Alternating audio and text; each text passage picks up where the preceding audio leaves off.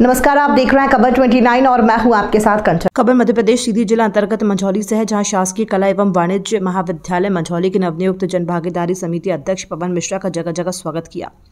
आपको बता दें कि भाजपा मंडल अध्यक्ष मंझौली के नेतृत्व में कॉलेजी छात्र छात्राएँ भाजपा कार्यकर्ता व गणमान्य नागरिक चुवाही चिराहे पर भारी संख्या में एकत्रित होकर समिति अध्यक्ष व भाजपा।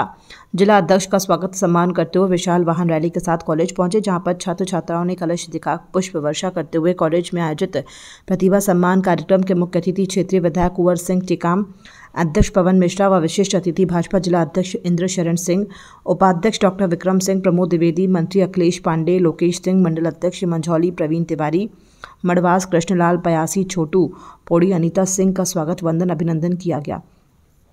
प्रतिभा सम्मान कार्यक्रम में विभिन्न गतिविधियों में उत्कृष्ट प्रदर्शन करने वाले छात्र छात्राओं को सम्मानित किया गया। इस अवसर पर कॉलेजी छात्र छात्राओं द्वारा गीत, गाने, नृत्य, नाटक की मनमोहक प्रस्तुति दी गई। साथ ही गजमाला पहनाकर मुख्य अतिथि अध्यक्ष व विशेष अतिथियों का स्वागत किया गया।